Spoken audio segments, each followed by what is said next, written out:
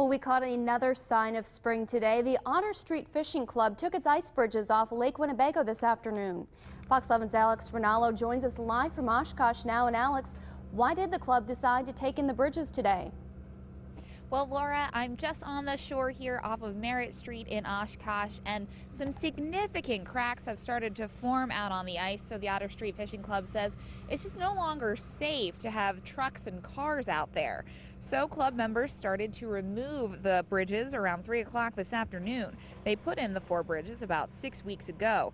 Don Herman tells us the club puts in about 500 volunteer hours to do this each year and has done so for decades. Herman says the winter started off with bad weather for ice, but ended strong.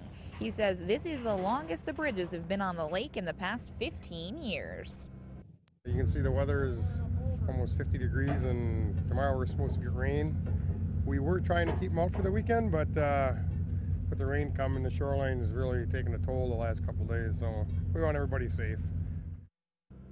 Now you can see there is still an orange bridge out there on the ice. That's a four-wheeler bridge, which the club put out today. Herman tells us the ice is still safe for four-wheelers, so that smaller bridge will likely be out there for the next week or so.